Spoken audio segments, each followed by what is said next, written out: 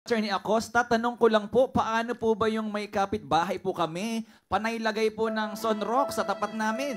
Lagay po siya ng lagay kahit wala naman pong dumi ng aso. Ah, linis ng linis, ano?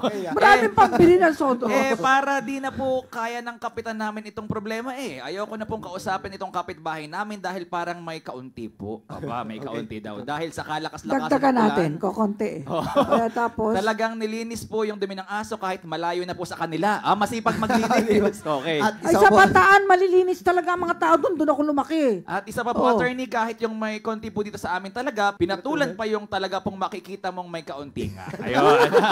Kumbagay halatang halata daw. Okay.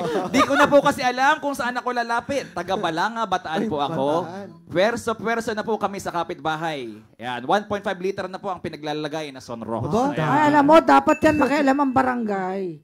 Kasi alam nyo, sunrose ako pag puti, na ang singot ko noon, magmamigraine ako. May hilo. malakas yung... Magbabamiting na ako, yung hilong may sakit ng ulo na matindi. Talagang masama po yan at masama yan, nakakasunog din ang bagayan. Ano yan eh, hydrochloride yan eh.